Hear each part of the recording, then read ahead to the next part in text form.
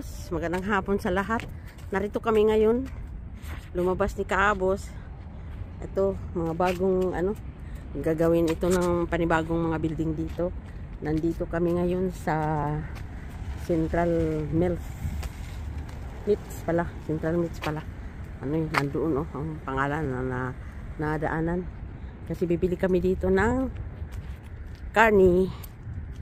Ayan, siguro gusto na rin ni Kaabos na maiba naman ang ang ulam niya. Ayan. Talagang sinadya niya pumunta dito kasi kailangan daw niya ng karning baboy. Ayun. Kasi yan lang daw pwede niyang kainin. Okay. Dito kami.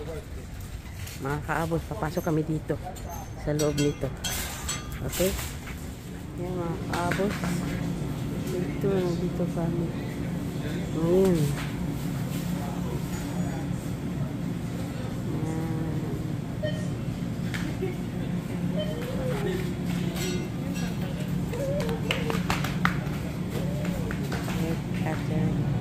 Anong gusto mo?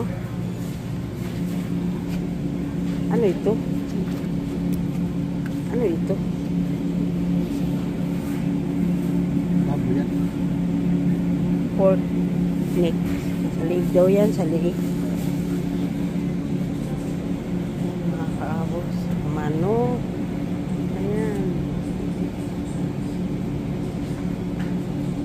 Chicken liver. To.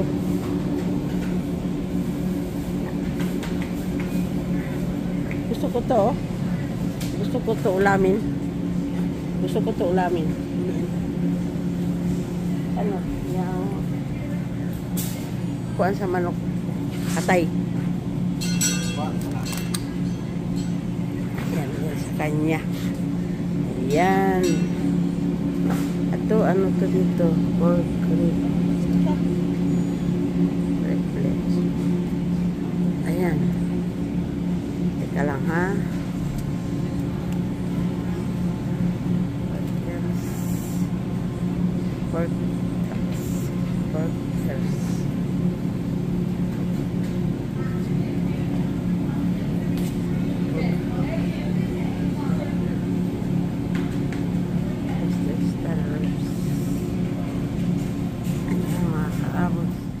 Mga kaabos, lilipat kami. Pupunta kami doon sa Walmart kasi meron kaming Oo nga, Walmart.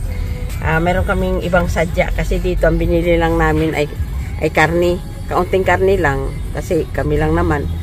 Ayan mga kaabos. Eh pupunta kami ngayon. Iikot lang muna si, ka, si kaabos.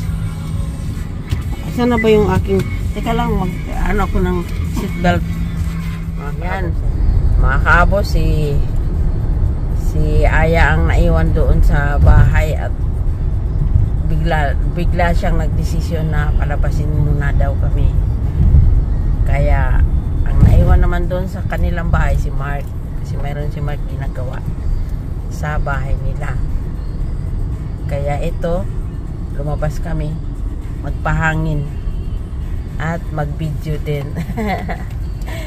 Ayan. Ayun oh, mga bahay, ang cute.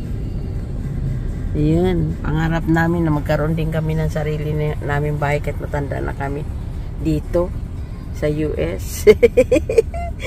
kung papalarin, ayan, pero no pasanada kung kung hindi hindi ipagkaloob sa amin kasi matanda na kami. Pero yun lang ay ano lang ah, salita lang namin yan na sakali, hindi natin alam. Ang daming plano, no? Kahit matanda na, wala naman sigurong, ano, wala naman sigurong bayad ang magplano at saka walang imposible. Ayun. Dito, da, da, ano kami, tatawid kami dito. Ulit-ulit lang kami dito sa lugar na to kasi ito lang ang kailangan naming puntahan. Um, masyado naman aksayado sa gasolina kung pupunta pa kami sa malayo eh. Yun lang naman ang kailangan namin bilhin. Kaya dito na lang kami sa malapit kung gusto mo maka, makatipid. Ayan. Kaya huwag kayong magsasawa mga kahabos. Ito. Hindi namin dinala yung maliit na kotse. Kasi ayaw ni Kaabos mabawasan ng gasolina. Sabi ni Kaabos dito daw kami sa kotse ni Aya.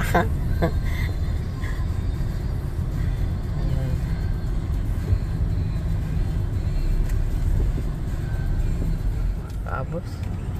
Daming nakaparking. Doon. Ah. Ayan. Dami mga kaabos. Ayan. Bili ulit kami dito ng mga sibuyas. Yung maliliit lang dong. Dito ay. Pag kukuha ka dito ng saging, ayan oh. Yung medyo maliliit. Dito. Ayan. Daming mais. Pero, yung mga kaabos oh.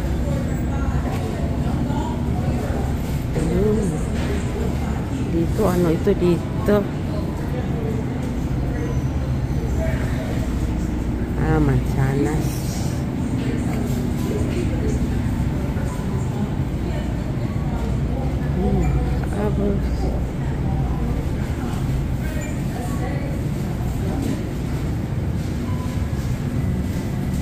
Okay.